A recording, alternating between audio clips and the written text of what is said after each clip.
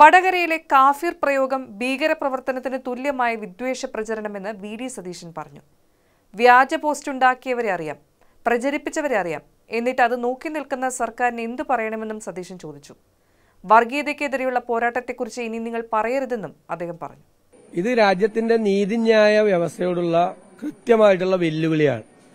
കാരണം ഇതൊരു ഭീകര പ്രവർത്തനത്തിന് സമാനമായ ഒരു വിദ്വേഷ പ്രവർത്തനമാണ് സമൂഹത്തിൽ മതപരമായ ഭിന്നിപ്പുണ്ടാക്കി അതിൽ നിന്ന് രാഷ്ട്രീയ മുതലെടുപ്പ് നടത്താൻ വേണ്ടി നടത്തിയ ഹീനമായ ഒരു ശ്രമമാണ്.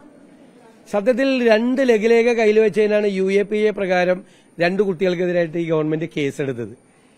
ഗവൺമെന്റിനെതിരായിട്ട് സമരം ചെയ്തതിന്റെ പേരിലാണ് രാഹുൽ മാങ്കുട്ടത്തിലുള്ള വീട്ടിൽ വെളുപ്പാങ്കാലത്ത് അറസ്റ്റ് ചെയ്ത് കുറേ ദിവസം ജയിലിലിട്ടത്. ശബരിനാഥ് മുൻ എം എൽ എക്കെതിരായിട്ട് കേസെടുത്തത് ഇതിന്റെ പേരിലാണ്. സർക്കാരിനെ വിമർശിച്ചാൽ അവർക്കെതിരായിട്ട് കേസെടുക്കും.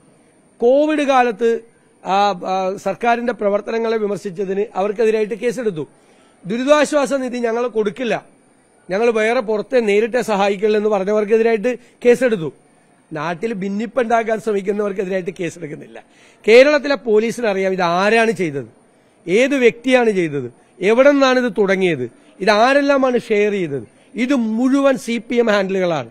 വ്യാജമായി ഒരു യൂത്ത് ലീഗുകാരന്റെ പേരിൽ ഒരു വ്യാജ ഷോട്ടുണ്ടാക്കി അത് സി പി എം നേതാക്കൾ ആര് തന്നെ അത് പ്രചരിപ്പിച്ചു.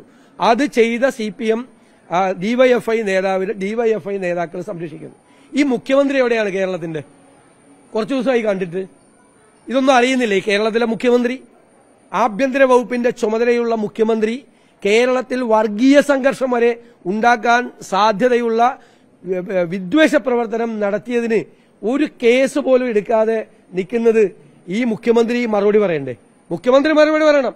മുഖ്യമന്ത്രിയാണ് ഇവരെ മുഴുവൻ സംരക്ഷിക്കുന്നത്.